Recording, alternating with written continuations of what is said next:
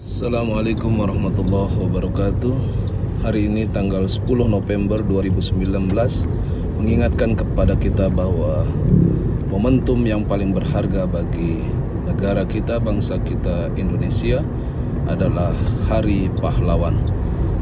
Semua para pahlawan bangsa telah memberikan contoh bagaimana uh, mengharumkan nama bangsa Salah satunya adalah dengan cara kita uh, berkhidmat kepada bangsa dan negara.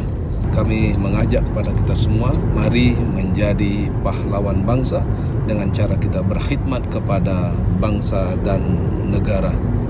Jangan sampai nama baik kita, nama baik pribadi kita tercoreng gara-gara perbuatan yang mengkhianati bangsa. Terima kasih. Selamat Hari Pahlawan. Assalamualaikum warahmatullahi wabarakatuh.